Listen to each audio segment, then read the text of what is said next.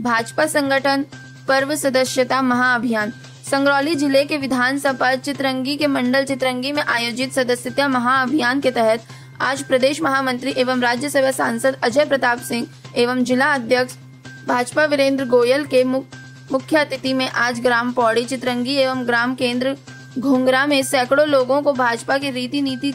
से जोड़ सभी को भाजपा की सदस्यता दिलाई गई, जिसमें राज्यसभा सांसद ने सभी नए सदस्यों को भाजपा में स्वागत किया, जिसमें वरिष्ठ अतिथि के रूप में चित्रंगी विधायक अमर सिंह, पूर्व जिला अध्यक्ष एवं प्रदेश कार्य समिति सदस्य गिरीश द्विवेदी, राम निवास शाह, सदस्यता प्रभारी आशा यादव, भाजपा जिला पंचायत उपाध्यक्ष डॉक्टर रविन्द्र सिंह, मंडल अध्यक्ष राजेश सिंह, शंकराचार्य पाठक आदित्य प्रताप सिंह प्रवेंद्र धर द्विवेदी, अजय द्विवेदी